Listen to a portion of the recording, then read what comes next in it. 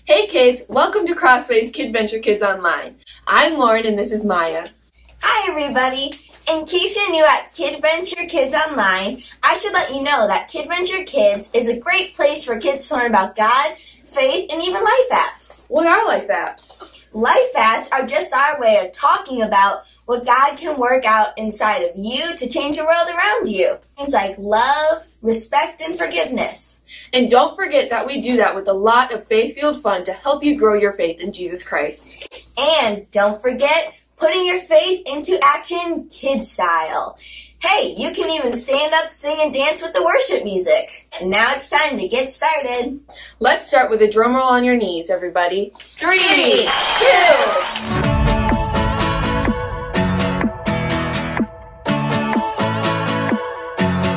Why would I worry?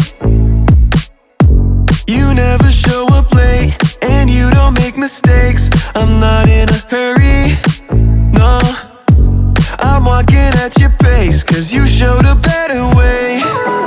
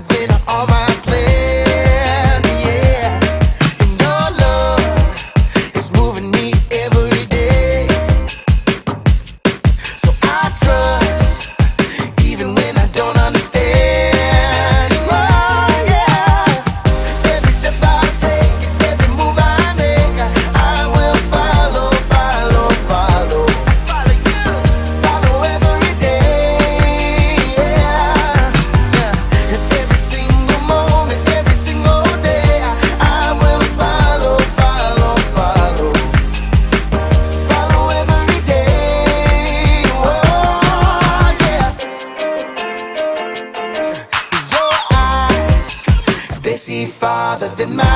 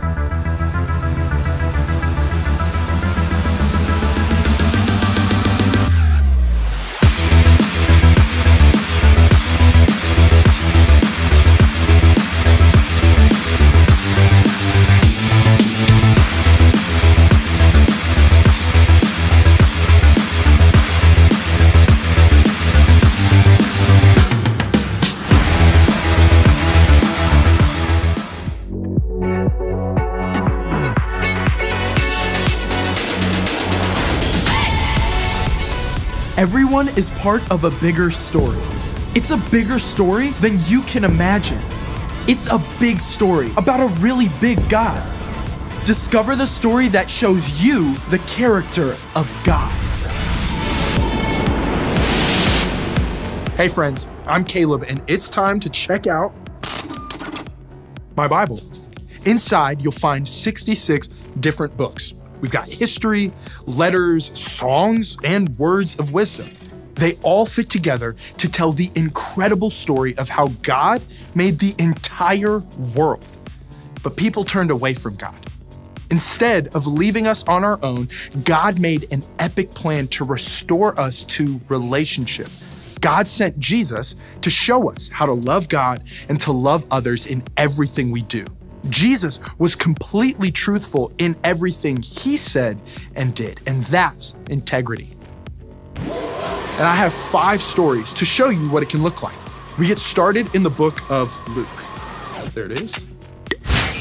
Here, Jesus shares with his followers that what's on the inside will always come out.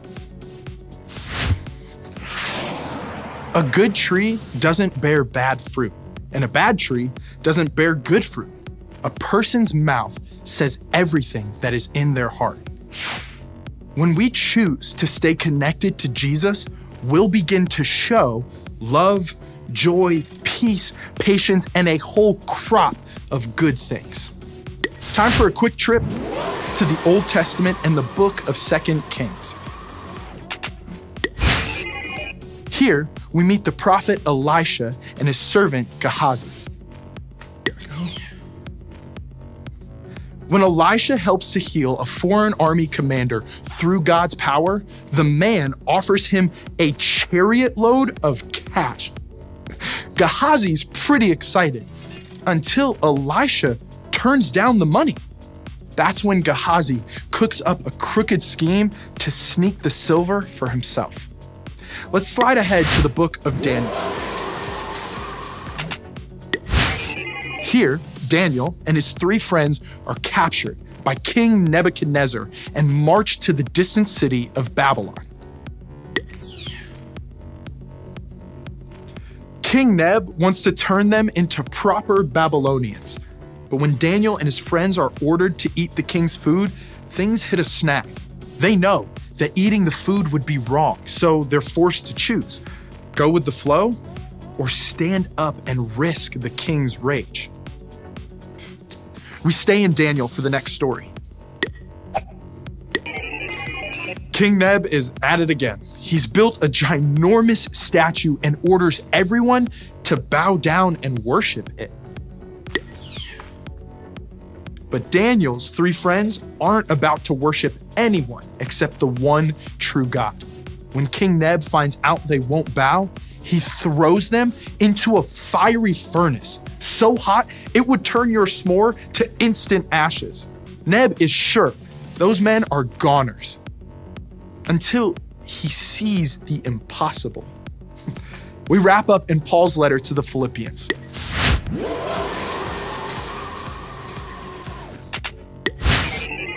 Here, Paul reminds his friends that what we put in our minds can change everything. Finally, my brothers and sisters, always think about what is true. Think about what is noble, right, and pure. Think about what is lovely and worthy of respect. If anything is excellent or worthy of praise, think about those kinds of things. The more we focus on who God is, what God has done, and the amazing things God has created, the more our lives reflect that goodness and beauty. What's inside matches up with what's outside as we live truthfully in all we say and do. And that's what true integrity looks like. And I can't wait to see how it shows up in you and me.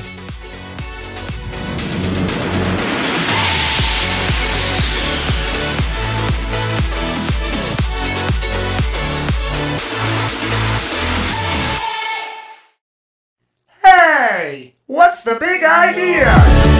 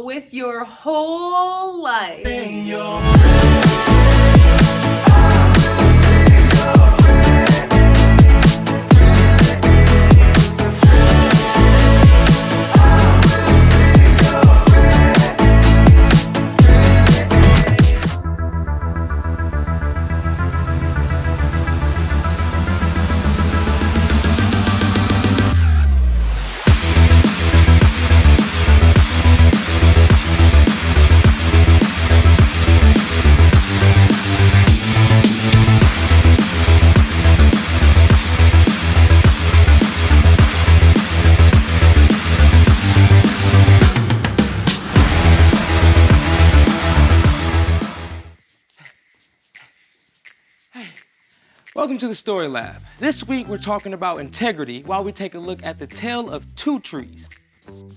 Hmm, I wonder if either tree has a tire swing. Hmm.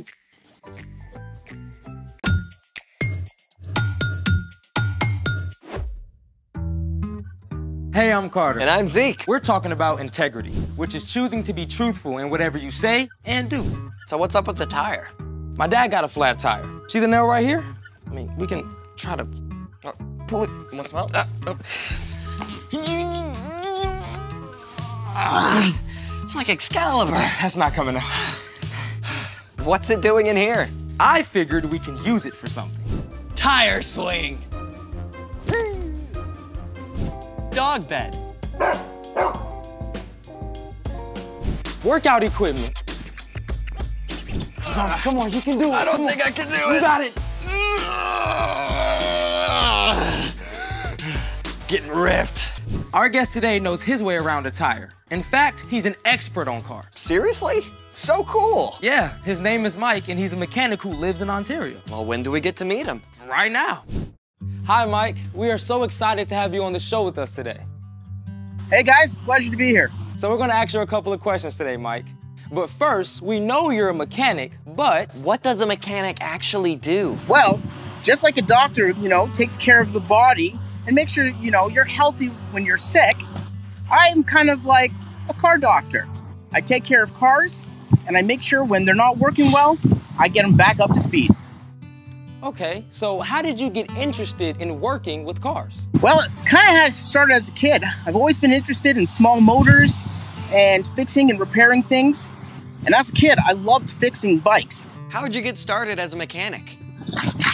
Well, I actually started at a dealership when I, when I first wanted to be a mechanic. I was fixing cars, but over time, they wanted us to, you know, I felt the pressure to make repairs that really customers didn't really need and do things that, you know, it's not really needed or the customer didn't really want it. So I just didn't feel comfortable that way.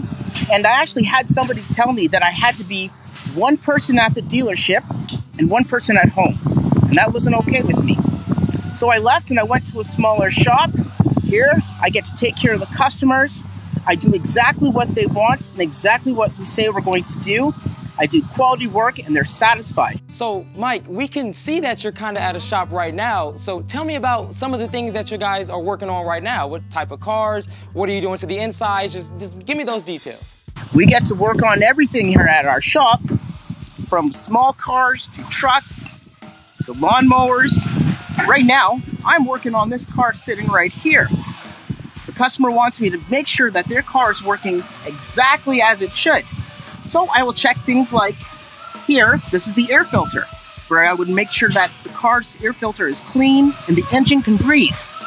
And here, this is the dipstick where the engine oil goes in. It's like the lifeblood of the engine. If it's not good, the engine will not work well. And also, the battery. This is a very essential part of the car. You have to make sure that the battery's in good working order and these connections are nice and tight. Because if they're not, the car may not even start at all. Can you talk more about what it takes to get a car to run really, really well? The best part of it all is you have to take care of what's on the inside. If you don't, eventually the car will break down and maybe not even work at all. So, Mike, we know you love working on cars, but we gotta ask what is your favorite kind of car? Classic cars and hot rods. I absolutely love them. When I'm driving down the road with my kids, we make it a game to pick them out, point them out, check the colors, and really just love the sound of the old hot rods. These cars are awesome. Well, thank you so much, Mike. Your job is so awesome, and it was a pleasure talking to you today. Thanks, guys. Wow, it's like I've got a whole new perspective on what's inside. Speaking of which, it's time for The story before the story. Today we're in the book of Luke. When God sent Jesus as a baby, angels announced his birth. But for most of his life, Jesus lived quietly and faithfully, loving God and loving others. Around the time Jesus was 30 years old, he came to the Jordan River. God's voice spoke from heaven You are my son, and I love you. I am very pleased with you. Soon after, Jesus began to travel from town to town, teaching and healing. He chose a group of friends to share life with him. In everything Jesus said and did, he showed people what God is like. And over and over, he pointed out that what's on the inside matters most to God. Which is where our story starts. Take it away. Hey everyone, I'm Brian. And in today's story, well, things are going to get a bit thorny. Jesus had just chosen his 12 closest friends to help in his work. And when he came down from the mountain with them, a big crowd gathered. People had come from all over to hear him and be healed. Jesus did make many people well, but he knew that even more than their bodies, it was the people's hearts that needed help. So Jesus began to teach them many things. A good tree doesn't bear bad fruit, and a bad tree doesn't bear good fruit. Uh, well, that makes sense, right? I mean, if you go up to a nice, healthy apple tree and pick one. Mmm. But if you find a tree that looks twisted and stunted and pick some fruit, ah, you're not going to want to bite of that. Jesus continued with the word pictures. You can tell each tree by the kind of fruit it bears. People do not pick figs from thorns, and they don't pick grapes from bushes. In the time of Jesus, figs and grapes were a super important part of what people ate. Figs represented peace and prosperity, and grapes stood for joy and celebration. Finding a good grapevine or fig tree was a big deal. But when Jesus and his friends walked the dusty roads, they would have seen other plants too, including thorny, bushy hedgerows and fig trees choked out by brambles. I mean, are you gonna find grapes or figs on one of these? No, I think not. It quickly became clear to the crowd, though, that Jesus was talking about more than just trees and vines. A good man says good things. These come from the good that is stored up in his heart. An evil man says evil things. These come from the evil that is stored up in his heart. A person's mouth says everything that is in their heart. Mic drop. A healthy apple tree produces great fruit, and an unhealthy tree grows bad fruit. They do it without even trying. And we are just the same.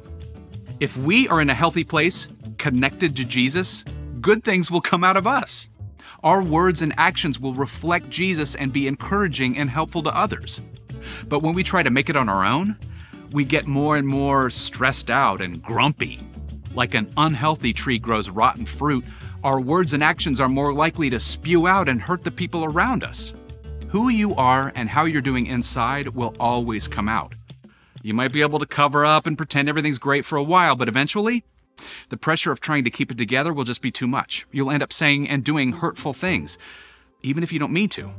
So clearly, we want to be this and not that. Here's the good news you get to choose which kind of tree you want to be. The night before he was arrested and gave up his life, Jesus told his friends, I am the vine, you are the branches. If you remain joined to me and I to you, you will bear a lot of fruit. You can't do anything without me. Boom, there it is. That's the key. Like a branch has to be connected to the vine or tree trunk to survive, we were designed for connection to Jesus. And when we're regularly learning more about Jesus and talking with Him, things start to change inside. Over time, we become like good branches growing trees, growing good fruit. Now, being a good tree does not mean that you'll never say or do something hurtful, but it does mean that most of the time, your words and actions will be loving. And when you mess up, you can take it right to Jesus and ask for help. After all, you and every single person you meet are made in God's image. And when you follow Jesus, you can be confident that you will become a good tree, growing good fruit. The end. Okay, so if I were a tree, what would I grow? Hmm. Maybe walnuts? Walnuts? Not a fruit. Yeah, but you're a little nutty. And you're a lot cheesy. The story, guys? Right. Well, whatever kind, I want to be a good tree. So, what's our part in the story? Well, it starts with a choice. You don't live with integrity by accident. The journey begins by choosing to follow Jesus and then to stay connected to Him. And there are lots of ways to do that. Oh, for sure. For one of the best ways is to uh, read or listen to scripture about the things Jesus did and said. Love your enemies. Don't worry about tomorrow. Let your light shine before others. My grace is all you need. My power is strongest when you are weak. Yeah, and that's just a start. You can also spend time talking with Jesus in prayer, just like you'd talk with a friend. Yeah, and that means listening too. When you take time to be still, Jesus might give you a word or a feeling, or just a sense that He's there. Even when you get distracted or mess up, that's still a great opportunity to reconnect with Jesus. There is nothing you can do that will ever make him love you less. And when you stay connected to Jesus, you can be truthful with your whole life. Yep, you got it. Hmm. See you next time. So, here's the thing be truthful with your whole life. And stay connected to Jesus. Kind of like how Mike showed us with making sure your car battery is properly connected. So, have you decided what to do with this tire? I'm going to use it as a planter. And grow some good fruit. Or veggies. Thanks for joining us in the Story Lab. See, See you, next time. time. Uh, uh, wait, come back! Runaway tire!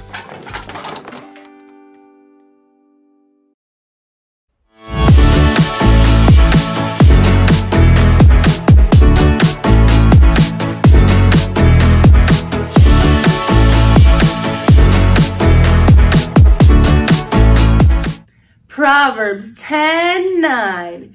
Anyone who lives without blame walks safely, but anyone who takes a crooked path will get caught.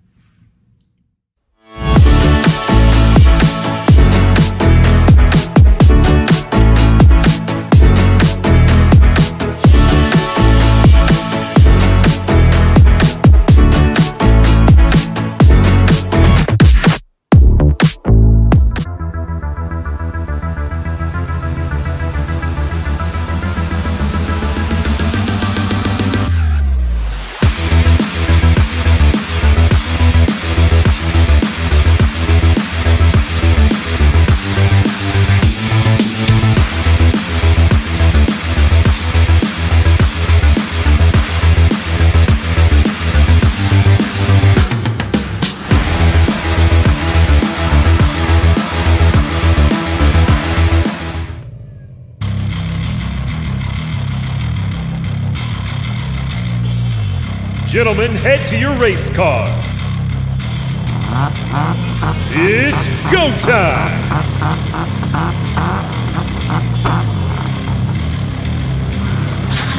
Go time. Go time.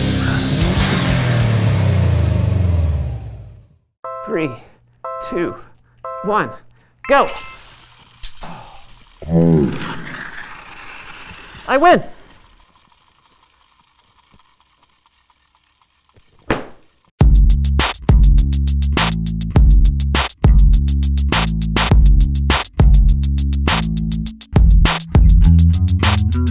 Everybody. I'm Brandon. And I'm John, and welcome to the So and So Show. This month we are talking all about integrity. Mm-hmm. When you have integrity, that means you can be trusted. Really? You think you can just come out right out of the gate and announce a big spoiler just like that? Uh, yeah, I think I just did. Well, tell me more. Oh. Who do you think is the most integritous person you know? That is not a word. Sure, sure, sure. Okay, fine. Um, probably my barber. Uh, are you sure about that?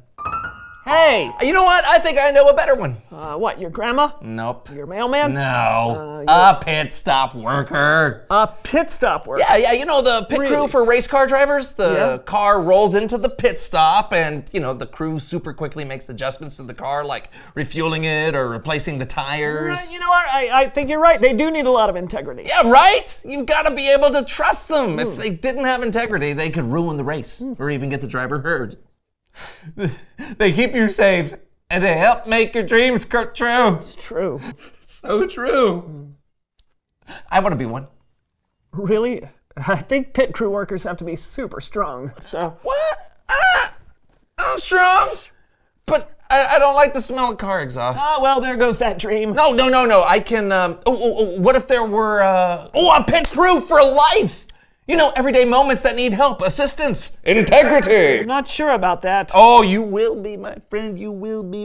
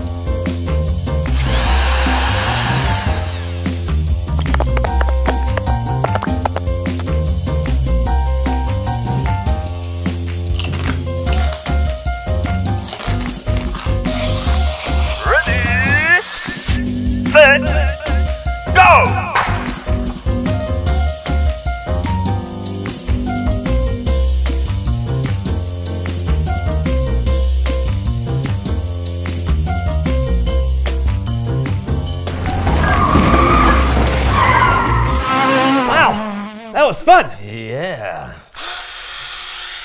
Now, what else needs my help? Uh, maybe we should just leave things the way they are. Never! the door! Yeah! It's Bible story time with Kellen! Woo! No! Can you smell that?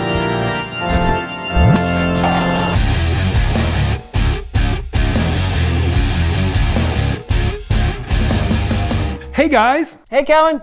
You know what I like about you, Kellen? You're integritous. Thanks, but that's not a word. Still? Okay, fine. But I see where you're going, and I like it. So, what do you have for us today, Kellen? Well, I'm glad you asked. Today is all about fruit. You guys like apples, bananas, oranges? Yeah. Definitely. The only way you get fruit is because it grows on a fruit tree. When Jesus was on earth, a lot of the people he met and talked to were farmers and people who knew all about growing fruit trees. So, a few times, that's what Jesus decided to talk to them about. In the Gospel of Luke, chapter 6, we read that Jesus says, A good tree doesn't bear bad fruit, and a bad tree doesn't bear good fruit. You can tell each tree by the kind of fruit it bears. People do not pick figs from thorns, and they don't pick grapes from bushes. That makes sense, right? Apples only grow on apple trees, and oranges only grow on orange trees. And only good, healthy trees can produce good, healthy fruit. Now, Jesus taught this lesson about fruit trees so he could actually teach us about people. He went on to say, A good man says good things. These come from the good that is stored up in his heart. An evil man says evil things. These come from the evil that is stored up in his heart. A person's mouth says everything that is in their heart. So people can be like fruit trees. What does that look like? Well, imagine someone who is good. Jesus said a good person has good things stored in their heart. It's like they're a healthy tree. And just like good fruit comes from a healthy tree, good things come out of someone with a healthy heart. Things like kind words, encouragement, and honesty. But there's another kind of person. When a tree isn't healthy, it won't produce good fruit. In the same way, Jesus said that evil things come out of someone with an unhealthy heart. Things like lies, insults, and hateful words. So, which kind of person would you rather be? Someone who is good, right? Well, then that's the kind of fruit you should bear. You should actually be kind and good. Now, I get it. Sometimes that's more easily said than done.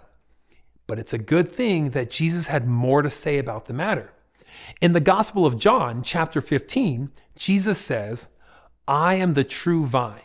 My Father is the gardener. So picture this with me. Picture a big vine growing in a garden. There are so many branches connected to the vine, and some of those branches are bearing fruit and others aren't. Now, imagine that Jesus is this big vine and that God is the gardener. Jesus said, God cuts off every branch joined to me that does not bear fruit. He trims every branch that does bear fruit so that it will bear even more fruit. So God takes care of the vine and the branches that are attached to it. Remember, the vine is Jesus, and the branches Jesus was talking about are you and me. Next, Jesus says, Remain joined to me, just as I also remain joined to you. No branch can bear fruit by itself, it must remain joined to the vine. In that same way, you can't bear fruit unless you remain joined to me. So, as long as the branches stay connected to the vine, they'll continue to bear more and more fruit. Did you catch that? You don't have to try to have good fruit on your own. In fact, Jesus says that it is impossible for you to do it by yourself. But when you lean on Jesus, when you stay connected to Him in relationship and obey His commands to love one another, you will bear good fruit. Things like love, kindness, peace, and my favorite, joy. Jesus believes in this so much that he kept going, telling his disciples again, I am the vine, you are the branches. If you remain joined to me and I to you, you will bear a lot of fruit. You can't do anything without me. This is an amazing promise from Jesus. He doesn't say you might produce fruit, he says you will. Then Jesus added, When you bear a lot of fruit, it brings glory to my Father. It shows that you are my disciples. And just like a branch getting nutrients from the vine, when we stay connected to Jesus, we get the love and nutrients we need to have healthy hearts that produce good fruit. That is beautiful. It really is. You know, it's helpful to learn that the way to have a healthy heart and good fruit is by staying connected to Jesus. Exactly. Jesus never leaves us, and we can always be connected to Him. We can receive His love in our hearts, ask Him to help us, and follow His example of how to love people well. That's amazing. Thanks, Kellen. Anytime. See ya. Bye, Kellen. You know, I wonder what kind of tree people would see me as. Well, hopefully a good one. yeah, yeah. You know, instead of an apple or orange tree, would people describe me as a kindness tree or a joy tree? I think you can have a lot of good types of fruit. Right? But that's a good thought. Uh, reveal the question. How do you want people to describe you? Yeah. Do you want to be described like a, a pit crew member, helpful and trustworthy? Or perhaps as someone who is patient and kind. Yeah, or funny or generous. Yeah, there's lots of examples of what fruit could look like. It all comes down to your actions. Yeah, the way you act reflects who you are. So it's good to choose actions that are true to you. Yeah, and who Jesus helps you to be. Yes. Think about it, talk to somebody, and we'll see you next time. I'm Brandon. And I'm John, and this was the So and So Show! Ooh, hello. Yep, I could not. I got something for you. Are, are you ready? I'm ready. It's a game. Yeah, it's a game? Sort of. I like it. But it's also life. Is it the game of life? No. All right. What am I? Statue? No, no, no, no. What kind of tree am Oh, I? I oh. gotta bear good fruit, right? Uh, sure, sure. Uh, palm tree? no. Um, I do have palms, though. oh, good. Yeah, but was close. I'm not a palm tree. Pear? No. Pear tree? No. Um, you know it's a metaphor, right? You're not actually a tree. Oh, I did it! I'm an apple tree! Where did that? Yeah, lie. I knew I loved apples. See, look at that. Go! How are you doing oh, this? and a banana. I got a banana. Uh, uh, what's a metaphor? Is that the one with Azure like? Hey! What's the big idea?